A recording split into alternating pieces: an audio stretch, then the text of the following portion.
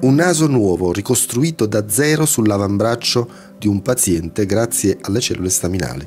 È questo il risultato di uno studio eh, pionieristico portato avanti dall'University College di Londra. Se tutto andrà bene, il paziente, colpito da un cancro alla pelle, potrà recuperare il suo profilo. Il naso, infatti, una volta ricresciuto completamente, verrà rimosso dall'avambraccio e trapiantato sul viso.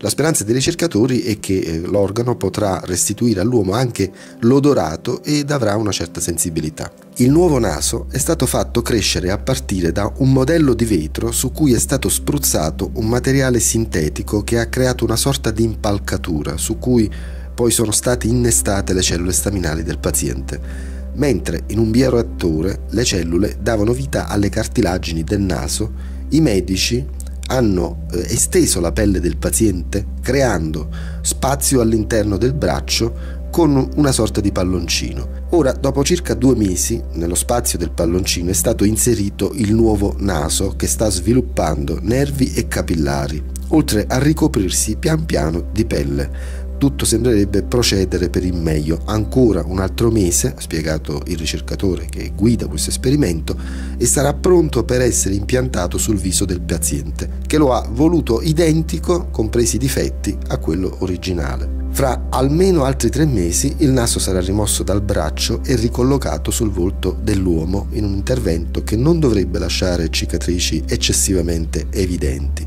Il braccio poi potrebbe tornare normale e la pelle restringersi nuovamente.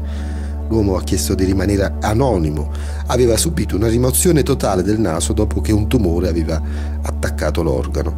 La malattia è stata arrestata ma il paziente era rimasto segnato per sempre diciamo da un punto di vista soprattutto estetico, perdere il naso eh, è una cosa abbastanza devastante per una persona. Non si tratta del primo caso di parti del corpo fatte crescere all'interno delle braccia, ma questo è l'unico caso in cui si riproduce un organo a partire da zero. Lo scorso anno, ad esempio, alla Johns Hopkins University di Baltimora, a una donna è stato fatto ricrescere nell'avambraccio e poi trapiantato un orecchio.